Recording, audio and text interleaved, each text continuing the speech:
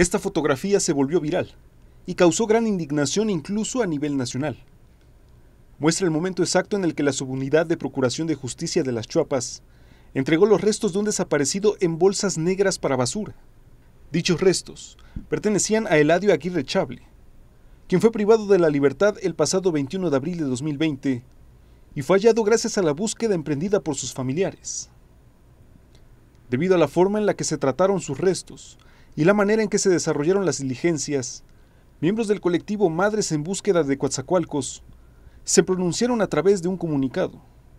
En el mismo, condenaron el trato hacia Natalia Aguirre, hermana del desaparecido, y quien recibió los restos de esta manera. Este lunes, la Fiscalía General de Veracruz confirmó cambios en la subunidad de las Chuapas, luego de que los restos de Eladio Aguirre fueron entregados a sus familiares de esta manera. La titular de la dependencia, Verónica Hernández Giadanz, reconoció que se violaron los protocolos avalados por instancias federales y estatales, que de acuerdo con la ley y con respeto a los derechos humanos de las víctimas, se deben seguir al momento de la entrega digna de personas fallecidas. Ante ello, confirmó que al frente de la subunidad de las Chuapas estará la fiscal Jessica Lisbeth Orozco, además de que confirmó que se han iniciado las investigaciones para establecer las responsabilidades administrativas y se ha integrado una carpeta de investigación con la intención de fincar las probables responsabilidades penales en contra de los servidores públicos que violaron la ley.